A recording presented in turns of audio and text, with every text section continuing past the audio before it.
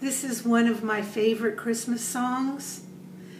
It was a song that my daughter sang to my granddaughter right after she was born on Christmas night almost five years ago.